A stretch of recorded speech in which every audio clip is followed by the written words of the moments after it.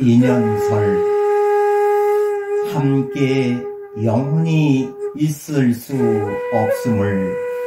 슬퍼 말고 잠시라도 같이 있음을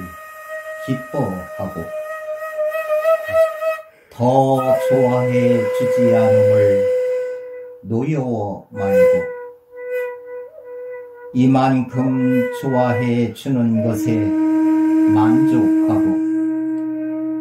나만 애태운다고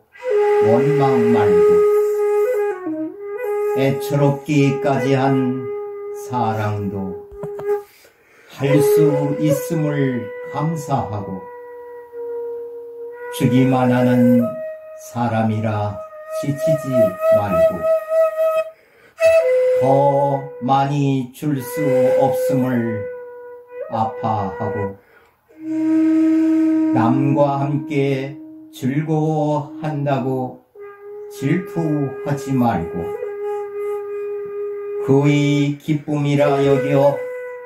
함께 기뻐할 줄 알고 이룰 수 없는 사람이라 일찍 포기하지 말고 깨끗한 사랑으로 오래 간직할 수 있는 나는 당신을 그렇게 사랑할 것 입니다.